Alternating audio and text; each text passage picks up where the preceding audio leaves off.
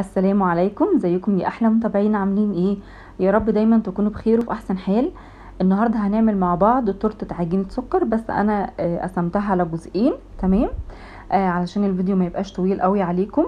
فالنهاردة هنعمل خطوات الكيك يعني هنجلس الكيك وهنجلس ال- ال- ال- التورتة من بره آه طبعا بالجناش والفيديو الجاي إن شاء الله هنغلف التورتة بتاعتنا بعجينة السكر تمام؟ آه يلا بينا نروح للتفاصيل وقبل ما نروح بقى للفيديو. ما تنسينيش آه لو أول مرة تشوفي القناة ما تنسينيش بقى بالاشتراك وتفعل الجرس علشان يوصلك مني كل جديد. وأهم حاجة ما تنسيش تصلي على النبي. اللهم صل وسلم وبارك على سيدنا محمد. أول حاجة أنا معايا كيك آه مقاس 20 عاملاه ب sponge بني آه sponge بني. أنا بستخدم المتحدة ماركة المتحدة الكيلو ب 22 وفي ب 24 على حسب كل منطقة حضرتك فيها. آه تمام. وحط عليهم ربع كيلو بحط عليهم ثلاث بيضات وكمان زودت بيضة آه والبيضة بتاخد 80 جرام من الدقيق تمام؟ آه أنا حطيت أربع بيضات وحطيت زي ما قلت لكم 250 و80 و80 جرام كمان زيادة على البيضة الرابعة وحطيت تلت كوباية من المية مية عادية خالص من حنفية وحطيت رشة فانيليا ولو حابه تحطي رشة خل حطي. وطبعا ضربتهم كويس جدا آه وأهم حاجة الفانيليا عشان ما ننساش وحطيتهم في الفرن قعدوا معايا من ساعة لساعة إلا ربع في حلة. وطلعتها بقى سبتها لتاني يوم وقطعتها خمس خمس أقسام أو آه خمس أجزاء بالشكل اللي انت شايفاه ده. تمام؟ عملت طبعا الكريمة عملت الكريمة معاكم كتير جدا قبل كده وعملت معاكم برضو السبونج. آه لو رجعتوا للفيديوهات القديمة بتاعتي هتلاقوا كل حاجة أنا شرحها بالتفاصيل سواء الكيك الجاهز ال- اللي إحنا بنشتريه أو الكيك البيتي البيتي العادي. تمام؟ عملت طبعا الكريمة لكل كوباية كريمة حطيت عليها. هي هتبقى بس هنحتاج كوباية بس بس من الكريمة أو نص كوباية كوباية الكريمة بتحط عليها كوباية آه، كوباية مية ساقعة متلجة ونص كوباية أو تلت كوباية سكر على حسب الرغبة. لو عندك pastry cream بتحطي وبتضربيهم وطبعا بحط معلقة كاكاو ومعلقة نوتيلا. لو انت حابة مش حابة براحتك ممكن تسيبي الكريمة بيضه بحط كريسبي وكمان بحط مربى حليب تمام؟ وهنا طبعا بجلسهم بحط أحط بين كل طبعا طبقة وطبقة آه كريمة وبحط كريسبي بني وبحط مربى حليب. أنا حطيتهم بقى في التلاجة لما ترتاح وتجمد وتشد نفسها ويلا بينا نعمل الجناش بتاعنا. ده يا جماعة الجناش اللي هنغلف بيه آه، تورتة عجينة السكر. تمام؟ هي بتتعمل بكريمه الزبدة أو بالجناش. طبعا اللي أنت هتشوفوه معايا ده. طبعا أنا ما بحبش كريمة الزبدة فبتبقى تقيلة قوي قوي لأن كلها زبدة. فهنعملها بالجناش الغامق. تمام؟ معايا هنا المكونات بتاعتي آه شوكولاتة غامقة ومعانا كريمة لباني. تمام؟ الشوكولاتة بتاعتنا بتبقى ضعف الكريمة. يعني آه مثلا لو 400 جرام شوكولاتة خام غامقة بنحط عليها آه 200 جرام من الكريمة وده اللي بيتقال في بعض الفيديوهات. لكن الموضوع خطأ خطأ خالص جدا جدا وخصوصا في الصيف. ال 400 جرام شوكولاتة آه سواء غامقة أو فاتحة بنحط عليها آه يا جماعة 150 جرام من الكريمة اللباني علشان تمسك معانا لأن الجو حر تمام؟ أنا حاطة 400 جرام من الشوكولاتة والشوكولاتة بتاعتي مش غامقة قوي ال dark القوي لأ هي فاتحة شوية.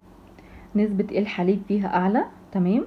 فأنا حطيت 400 جرام من الشوكولاتة.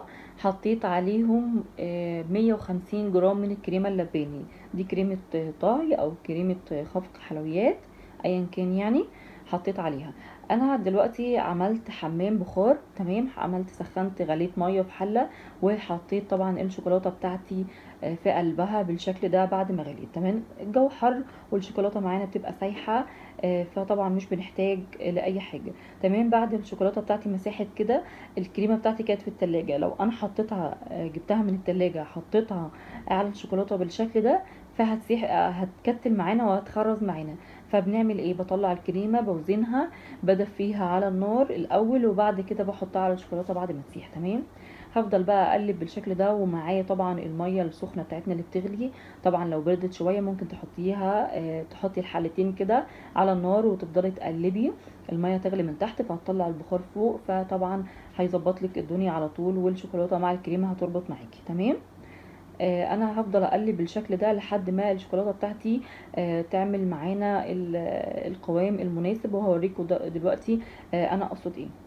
هنا خلاص كده بعد ما الكريمة طبعا اندمجت مع الشوكولاتة بتاعتنا شايفين؟ شايفين دلوقتي السمك بتاعها قد إيه؟ هسيبها بقى أنا سبتها نص ساعة ساعة إلا ربع لأن الجو حر أه لحد ما تجمد معانا. طبعا في المرحلة دي كان عدى نص ساعة كده أو ساعة إلا على الشوكولاتة على الكيكة بتاعتنا بتاعتنا. فالكيكة طبعا ساعت حطيناها في التلاجة فهنيجي بقى نحط أه الجناش بتاعنا. هنجلس التورتة بتاعتنا شايفين؟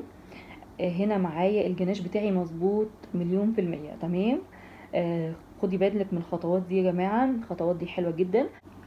آه فهنا طبعا بعد ما القوام بتاعها تماسك شوية وبردت شوية خلاص كده أنا بحب الجناش بتاعي لما طبعا هعمل تورتة عجين سكر بحب الجناش بتاعي يكون سلس بالشكل ده علشان أعرف أفرده وطبعا مسافة ما هنحطه على التورتة والكيكة لما دخلناها التلاجة مسكت معانا وبقت ساقعة.